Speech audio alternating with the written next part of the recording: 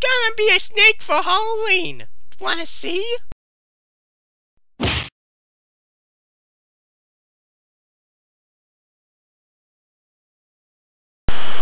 Let's make jack-o'-lanterns.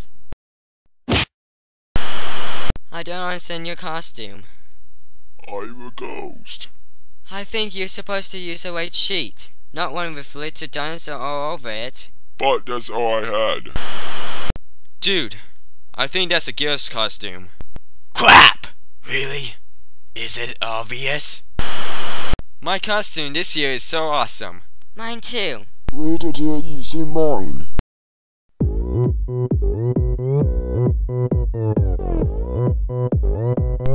Open Gangnam